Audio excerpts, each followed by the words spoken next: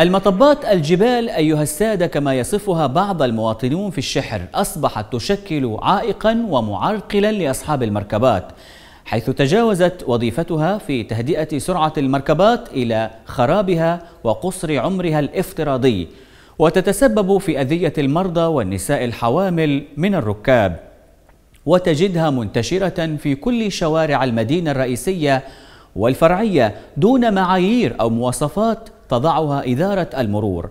كاميرا حضرموت في أسبوع. سلطت الضوء على هذه المعاناة. نتابع في سياق هذا التقرير. تزايد الحفر والمطبات في الآونة الأخيرة في الشوارع الرئيسية والحارات بشكل ملفت في شوارع مدينة الشحر. ما شكل مصدر إزعاج للمواطنين وسط مناشدات متكررة لذوي الاختصاص بضرورة إيجاد حلول لهذه المعضلة بما يخدم المواطنين وعدم إلحاق الضرر بمركباتهم.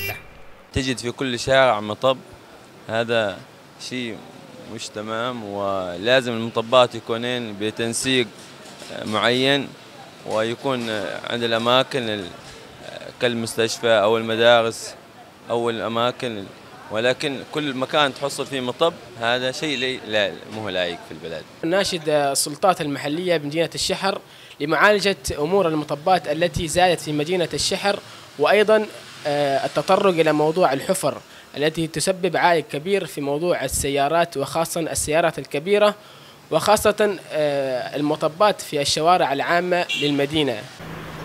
إدارة شرطة السير التابعة لأمن مديرية الشحر بالتعاون مع مكتبي الأشغال والنقل دشنت حملة لإعادة ترتيب المطبات في الشوارع الرئيسية وفق المواصفات المطلوبة وتسعى لإزالة المطبات العشوائية وترتيب الشوارع ورفع السيارات الكندم من على جنبات الطرق.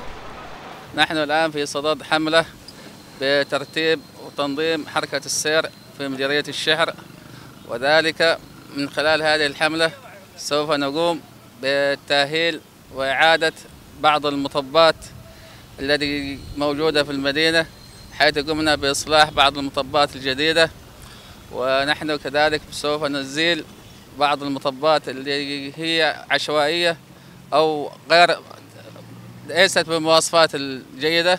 نحن نعاني طبعا من كثير من المشكلات في الطرقات وخاصة في أعمال الحفريات.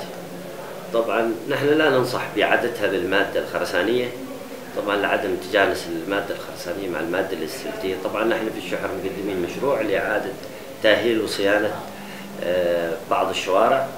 وطبعا هذا المشروع إن شاء الله يشوف الضوء ومقدم للأخ المحافظ وينتظر المواطنين سرعة تنفيذ مشروع رصف وسلفتة 20 كيلو موزعة على مدينتي الشحر والحامي والأرياف والتي تم وضع حجر الأساس لها من قبل المحافظ البحسني وينتظر التنفيذ مطلع العام الجديد.